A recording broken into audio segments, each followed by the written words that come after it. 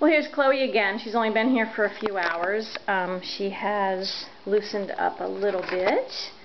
She's still a little grumbly, but she's uh, very sweet with me. She's just grumbly about new sights and smells. Look up, baby. Come on, look up.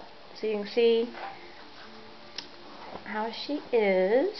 A little on the heavy side. Um, she looks even heavier than she really is because of her long fur, but she definitely needs to drop some weight. but she uh, she loves she loves the banana. Loves the banana. Hey, Chloe. So she's clearly starting to relax. Um, you know, earlier I was in here and she just came right up to me and started headbutting me. You know, so she's not shy. Um, she's very friendly and outgoing. She's just grumbly with the sight of the other cats. What's she doing, silly girl? Look. Look over here. Look. Hey. Chloe. Chloe. Oh, is your banana too far under there? Let me get your banana for you. Here you go, baby. Oh, goodness, what? Oh, goodness? What, what, what?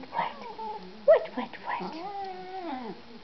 Are you just a grumbler? Are you just a grumbler? Uh-huh. Oh, yeah? You got something to say? You got something to say? Well, tell me, what is it? What is it? What is it?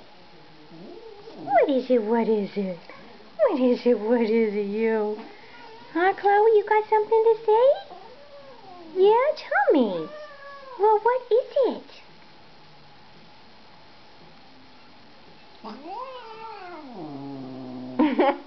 so maybe she's not grumbly. maybe that's just her sound.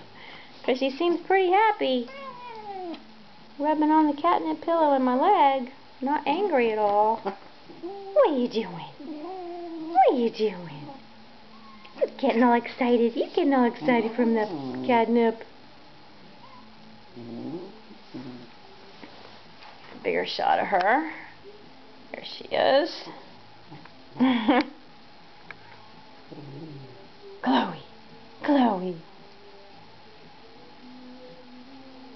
What is it?